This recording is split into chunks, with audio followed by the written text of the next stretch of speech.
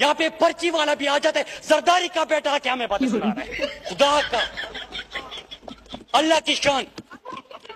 जरदारी का बेटा आके हमें बातें सुना रहा है स्पीकर साहब।